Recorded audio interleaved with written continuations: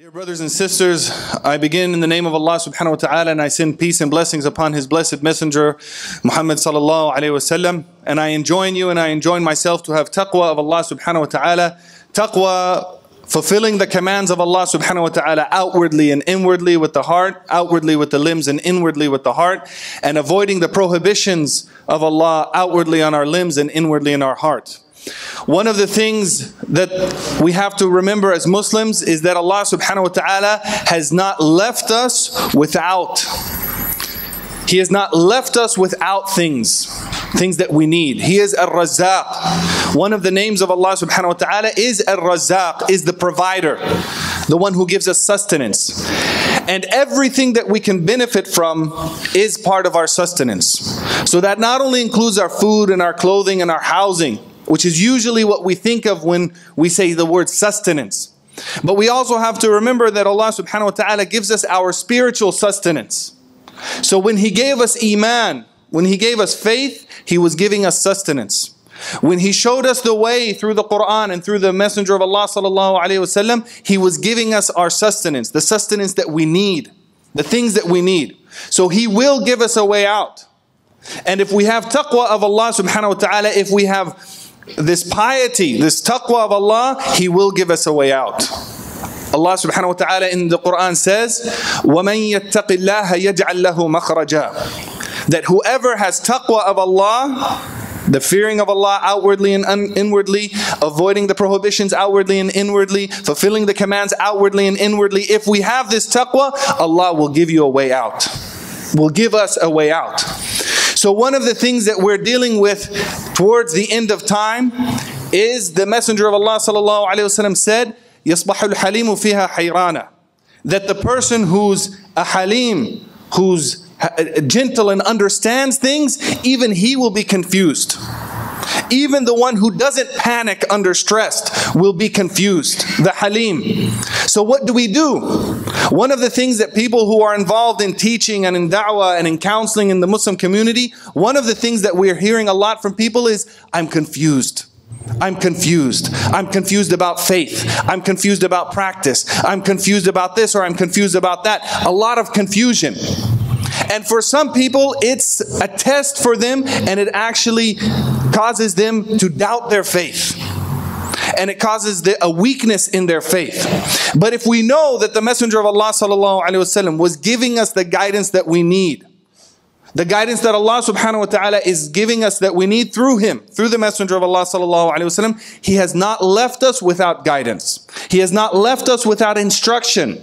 He has not left us without a guidebook. So when we look at one of the foundational hadiths of the Messenger of Allah sallallahu alaihi wasallam, which is commonly referred to as the hadith of Jibril, because Jibril alayhi was came to the Messenger of Allah sallallahu alaihi wasallam in the form of a man and then asked him four questions. We usually, when we're teaching, only focus on the first three. What is Islam, what is Iman, and what is Ihsan? What is our belief system as Muslims?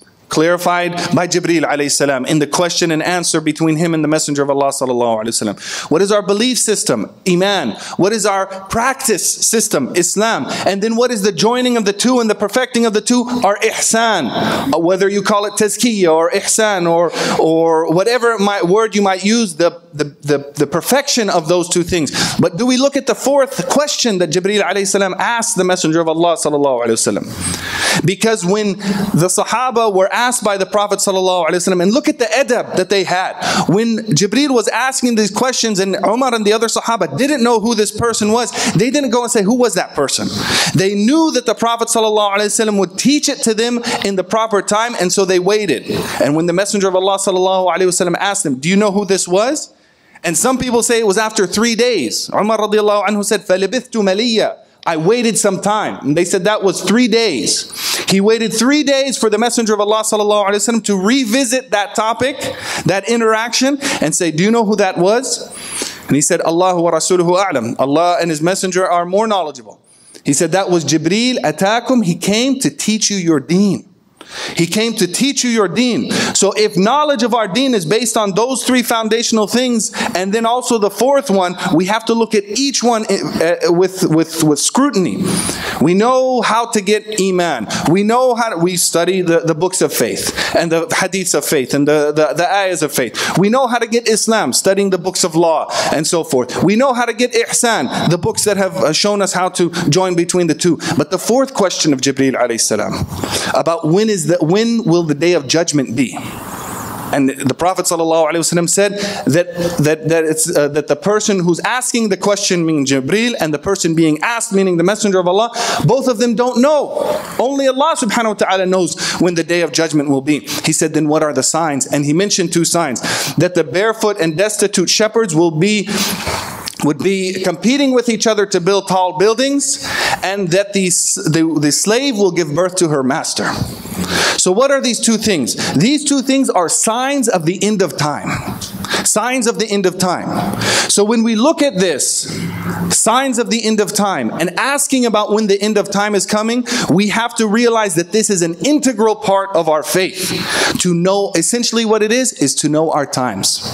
To know the time that you're living in to know the issues that you'll be facing. It's going to differ from country to country, region to region, state to state, even family to family. The times that you're living in is different than what your parents are li uh, lived in. The time that you're living in is going is different than what your children or what your what the next generation will live in. So each Muslim at every generation has the duty to figure out their times, what's going on, and where is their deen and their identity being attacked. This is very important to know our times and to know how our Islamic identity will be attacked, how people will try to take us away from the faith. The Quraysh had a system to try to take different people in different ways. They approached the slaves that became Muslim, they approached them with one way. The notables of Quraysh that became Muslim, they approached them with a different methodology. Fir'aun, when he approached the believers at his time, he approached at different times. It might be force. Come back to this shirk, polytheism, leave faith, or I'll kill you by force or by trickery. Everybody is going to have a different system. There's not one system that people are going to pull others away from faith. But the fact is that people are going to pull others away from faith. So now we look at what's who's being pulled away from faith and how we can keep our identity and keep ourselves as as Muslims. So we ask Allah subhanahu wa ta'ala to give us this firmness in faith and to ask and to have this understanding of our times and to realize how we can make sure that we preserve our deen and that we leave this dunya with La ilaha illallah Muhammadun Rasulullah.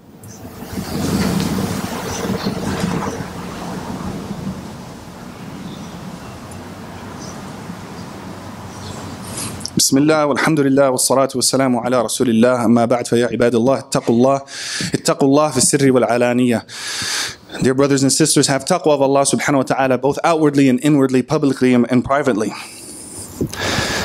This may seem like a daunting task to figure out our identity and to understand how we can establish, firmly establish our Islam in our lives and transfer it to the next, to the next generation.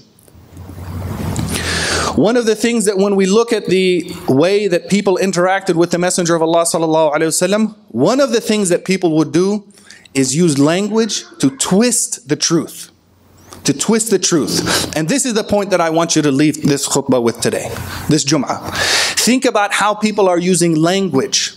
The th one of the main things that Allah has ennobled Bani Adam. Allah says in the Quran, وَلَقَدْ كَرَّمْنَا بَنِي Adam. We have ennobled Bani Adam. Many different ways. Some of the Sahaba said because He gave us hands to eat with. Look at the animals and they have to put their face. The most noble portion of a creature is its face. That's why when we go into sajda, that's what we put on the ground to show our humility to Allah subhanahu wa ta'ala. The most noble portion of our face, we don't have to stick it in our plates to eat. Allah has given us hands to bring the food up to our, our face.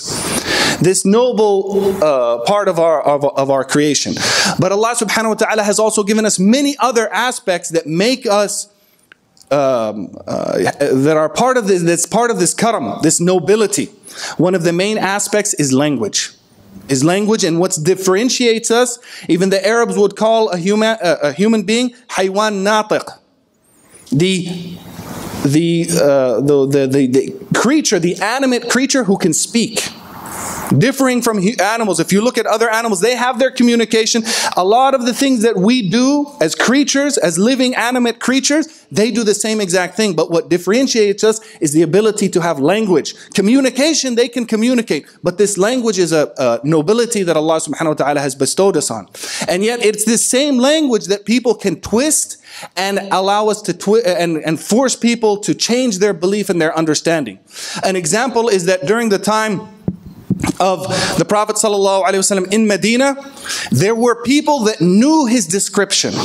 They knew who he was. They knew what he looked like. They knew him better in description than their own children. They knew where he would come from, what family he would be from, the way he would talk, the curliness of his hair. They knew all of the descriptions about him. And yet when he came, they rejected him. They rejected him and they began to twist things through language. And so Allah subhanahu wa ta'ala reprimands them and He says, وَلَا تَلْبِسُوا الْحَقَّ بِالْبَاطِلِ Do not enshroud truth with falsehood. Do not enshroud truth with falsehood. Do not cover up truth with falsehood. This point, brothers and sisters, is one of the main ways that people will try to, sh- to change believers from their system of belief to get them away from belief. They'll use language, the same thing that gives us our nobility, that gives us our individualism as human beings, that gives us our characteristics. They'll use this same thing to trick us. And we may even do it ourselves. We may even do it ourselves. So we have to understand what is the language that is being used in our times. What is the rhetoric that's being used in our times to shift us away from our belief? To shift us away. As an example, if somebody said, What is one of the main attacks that people have on Islam? One of the first things they say is the hijab. If you mention the hijab, the hijab is a, a wonderful symbol of, of modesty and a symbol of spirituality and a reminder to us of our submission to Allah subhanahu wa ta'ala and an outward symbol of, of Islam today. Today, in the world, and especially in the Western world, the symbol of, a, of, of Muslims is a Muslim woman wearing hijab. It's not us as brothers. It's not us wearing beards. It's not us wearing kufis. The international symbol of who a Muslim is today is a Muslim woman in hijab. That's an honor that Allah subhanahu wa ta'ala has given to the Muslim the women and the, the people of our times. But this same symbol that we could be proud of, people will start naming it with other names. This is oppression. Don't wear it, you're covering up your beauty. Don't wear it, you're doing this or do doing that. And then they could actually cause some people to doubt their faith. Their faith says, I'm a Muslim, this is what is prescribed in our religion, and so on and so forth. This is a beautiful set of instructions. And yet, but with people twisting that, they'll, they'll, uh, they'll get people to shift their faith. The same thing will happen at many other levels. The same thing will happen w- with, with people trying to shake our faith in the Messenger of Allah sallallahu alaihi wasallam. the same way that the Quraysh used to tell people, why are you following him? He's just a man right? Yes, he's a man, but they're twisting the language to say he's just a man. Or they would say, if this was such a great message, why didn't you send it to an angel? To some people, that made sense. The Quraysh were using language to twist people's understanding and, and cause them to not have an ability to realize that Allah subhanahu wa ta'ala can give nobility to a human being, make him a messenger, and give him a message. Because for some people said, yeah, it, made, it makes sense. If Allah wanted to do this, why didn't He send it to an angel? We may or may not have people in our day and age that are attacking it in the same way that Quraysh did. But we do have people that will that will come in um, they won't use the same wording but they'll use a similar style which is basically they're attacking they're covering up truth with falsehood and they're using language as the medium. And to end i'll go back to the hadith where the prophet ﷺ said that the slave will give birth to her master. Some of the early scholars took this literally and they gave an inter- interpretation. Mojo, the majority of scholars gave an interpretation that's applicable at all. Day and ages. They said this was the messenger of Allah sallallahu alaihi wasallam showing us that things are going to be inverted. Truths are going to be inverted. So what was once a noble quality to have, societies are going to flip it. What was some what was once something that was considered abhorrent by people of all faiths and all religions is going to be overturned by a Supreme Court. What was once considered falsehood will now be considered truth. So, this is what we have to do as Muslims. We have to say, we know there are people either intentionally or unintentionally trying to change our faith and change our re- and invert the realities, and they're doing it through, through the medium of language. So we have to be aware, brothers and sisters. We have to be aware of the attacks on Islam through language and through trying to invert the truths and to try to uh, do qalb al-haqa'iq, invert the truths and the realities, because the end result of that inversion of the truth is a shaking of our faith. A shaking of the foundation of our faith. Our faith, which is based on there's no God but Allah, Muhammad is the messenger of Allah, everything in the Quran is true.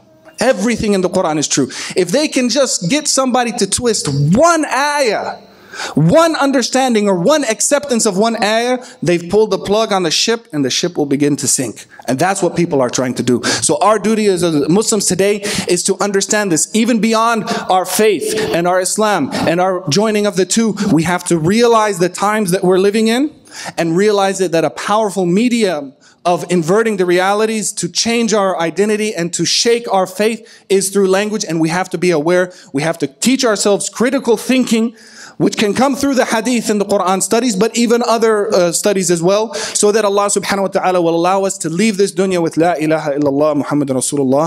And i aqulu qawli hada end on this. And i ask you to ask forgiveness from allah subhanahu wa ta'ala for all of us and for all of the muslims in all of the world and for allah subhanahu wa ta'ala to give us thabat to give us steadfastness في الحياة وبعد الممات وعند الممات وبعد الممات to give us steadfastness on the قول الحق on the true statement of لا إله إلا الله محمد رسول الله during this life and at the point of death and after death when the angels come to ask us يا الله يا أرحم الراحمين ثبتنا بالقول الثابت واختم لنا بالإيمان يا أرحم الراحمين قول قولي هذا واستغفر الله لي ولكم وأقم الصلاة